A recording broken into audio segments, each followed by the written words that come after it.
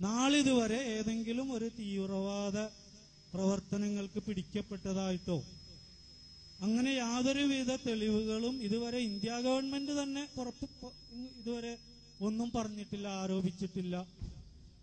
അതുപോലെ ബാബരി മസ്ജിദ് തകർത്തപ്പോൾ പോലും ജമാഅത്തിനെ നിരോധിച്ചിട്ട് സുപ്രീം കോടതി ഇവരിവിടെ പ്രവർത്തിക്കാൻ യോജിച്ച സംഘടനയാണെന്ന് വിധി എഴുതി ചെയ്തിട്ടുള്ളത്.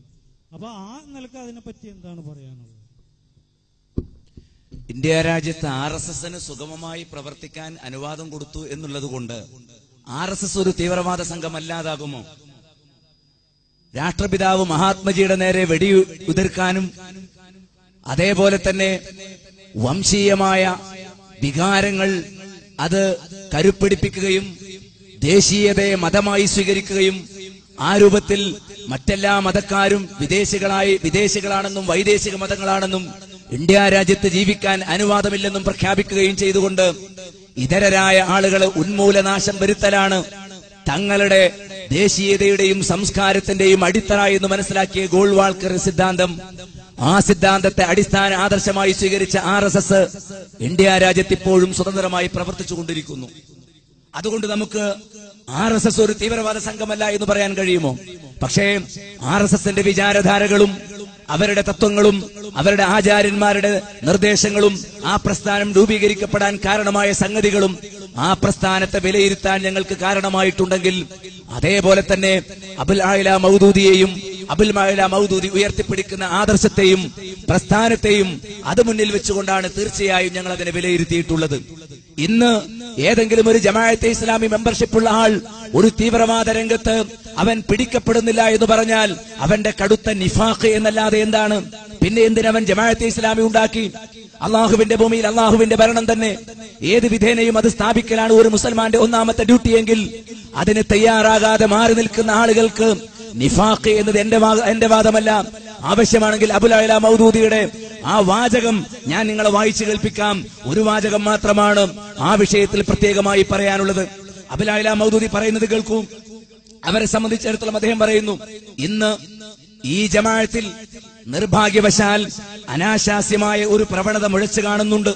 ജമാഅത്ത് ഇസ്ലാമിയെ പറ്റി മൗദൂദി പറയാണ് ഇന്ന് ഈ ജമാഅത്തിൽ നിർഭാഗ്യവശാൽ അനാശാസ്യമായ ഒരു പ്രവണത മുഴച്ചു കാണുന്നുണ്ട്. മുമ്പ് കാലത്ത് നാം അകന്നു പോകുന്ന ഭൗതിക താല്പര്യങ്ങളിലേക്ക് ഇപ്പോൾ അടുക്കുവാനുള്ള ഒരു പ്രവണത.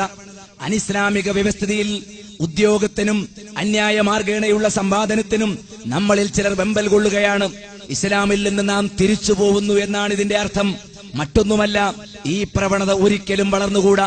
ജമാഅത്തെ ഇസ്ലാമി അങ്ങനെ പരസ്യമായി മൗദൂദിയൻ അജണ്ടകളിൽ നിന്ന് പിന്മാറുകയും തങ്ങളുടെ യഥാർത്ഥ മുഖം പൂഴ്ത്തിവെക്കാൻ വേണ്ടി കണ്ണടച്ചുകൊണ്ട് ശ്രമിക്കുകയും ചെയ്യുന്നുണ്ട് എങ്കിൽ മൗദൂതി വളർത്തിയെടുത്ത ആളുകൾ ജമാഅത്തെ ഇസ്ലാമിയെ വിട്ട് ആ പണി ഇവിടെ നടത്തിക്കൊണ്ടിരിക്കുന്നുണ്ട്.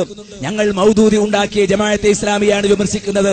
അല്ലാതെ പ്രാണനില്ലാതെ ഒരു ഇരുപത് ശതമാനം ജീവനുമായി പിടച്ചുകൊണ്ടിരിക്കുന്ന കേരളത്തിലെ ഇന്ത്യയിലെ ജമാഅത്തെ ഇസ്ലാമി അല്ല ഇവിടെ ഇപ്പോൾ ഞങ്ങൾ വെച്ചിരിക്കുന്നത്. നേരെ മറിച്ച് മൗദൂദി ആവിഷ്കരിച്ച ആദർശത്തെക്കുറിച്ചും മുക്കൂമത്തെ ഇലാഹിയുടെ പേരിൽ ഇസ്ലാമിന്റെ സാങ്കേതിക ശബ്ദങ്ങളെ അദ്ദേഹം വളച്ചൊടിച്ചതിനെ കുറിച്ചും ഞങ്ങൾ പ്രമാണബദ്ധമായി ബോധ്യപ്പെടുത്തിയ കാര്യങ്ങളിൽ ഞങ്ങൾക്ക് പിഴവ് പറ്റിയിട്ടുണ്ടെങ്കിൽ അത് സൂചിപ്പിക്കുകയാണ് ചോദ്യകർത്താക്കൾ. മൗദൂദിയുടെ ആശയത്തിൽ വല്ല ന്യായവുമുണ്ട് എന്ന് കരുതുന്നവരാണെങ്കിൽ ആ വിഷയത്തിൽ ചെയ്യേണ്ടത് എന്ന് പ്രത്യേകമായി ഓർമ്മിപ്പിക്കുകയാണ്. ഇങ്ങനെ ഏതൊക്കെ നിങ്ങൾ മാർക്സിസം എടുക്കും അവർ കടന്നു വന്ന ഒരു കാലഘട്ടമുണ്ടായിരുന്നു. അല്ലേ? മാർഗം നോക്കാതെ ഏത് വിധേനയും പ്രവർത്തിച്ചുകൊണ്ട് കൂട്ടക്കുരുതികൾ നടത്തിപ്പോന്ന ഒരു കാലഘട്ടം അവർക്കുണ്ടായിരുന്നു. ഇന്ന് അധികാരത്തിന്റെ സുഖഫലങ്ങൾ അറിയുകയും മതത്തിന്റെ മതരംഗത്തുള്ള ആളുകൾ പോലും ആളുകളെ പോലും തങ്ങൾ അംഗീകരിക്കുന്നുണ്ട് എന്ന് പറഞ്ഞുകൊണ്ട് തികഞ്ഞ യുക്തിവാദ ചിന്തയുമായി കടന്നു വരുന്നവർ ഇപ്പോഴുണ്ടെങ്കിൽ അതിന്റെ അർത്ഥം അവരുടെ അടിസ്ഥാന തത്വങ്ങളിൽ തീവ്ര ചിന്തയില്ല എന്നാണ് നാം മനസ്സിലാക്കേണ്ടത്. നിങ്ങൾ എന്തുകൊണ്ട് ഇസ്തിരിയിട്ട് നടക്കുന്നു? എന്തുകൊണ്ട് നിങ്ങൾ മൗദൂദിയെ തള്ളുന്നു?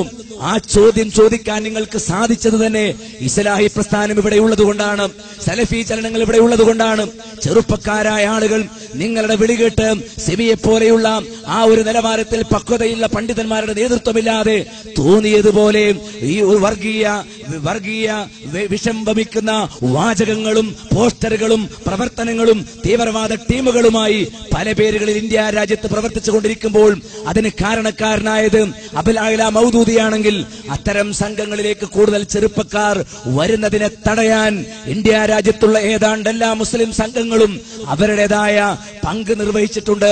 അതിൽ കേരളത്തിൽ ഒന്നാം സ്ഥാനത്ത് മുജാഹിദ് പ്രസ്ഥാനമാണ്.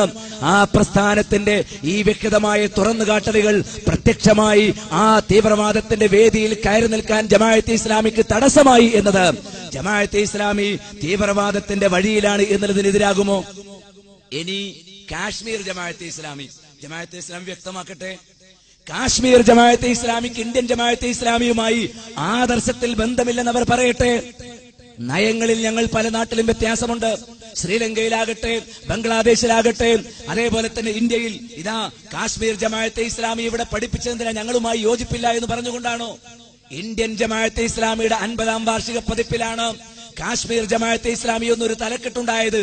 എങ്ങനെ കടന്നു വന്നു എങ്ങനെ ഇത് കടന്നു വന്നു? ഇതിലെവിടെയെങ്കിലും ഞങ്ങൾ തീവ്രവാദി ഗ്രൂപ്പാണ് എന്ന് പറയുമ്പോൾ ഈ തീവ്രവാദ ലൈനിനോട് ഞങ്ങൾക്ക് യോജിപ്പില്ല എന്ന് ഈ പ്രസിദ്ധീകരണത്തിൽ എവിടെയെങ്കിലും എഴുതി വെച്ചിട്ടുണ്ടോ?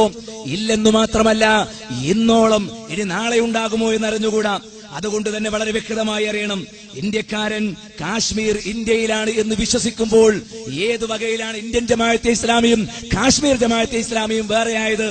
കാശ്മീർ പാകിസ്ഥാന്റെ വാദ പാകിസ്ഥാനിന്റെ ഭാഗമാണ് എന്ന മൗദൂദിയുടെ ചിന്താഗതി നിങ്ങൾക്കുണ്ടോ?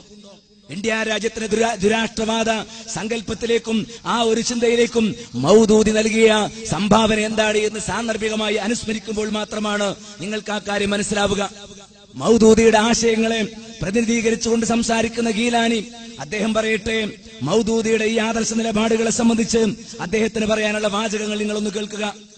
അദ്ദേഹം പറയുകയാണ് മൗദൂദിയെ സംബന്ധിച്ചിടത്തോളം ഇന്ത്യൻ ദേശീയത ഭൂരിപക്ഷ സമുദായത്തിന്റെ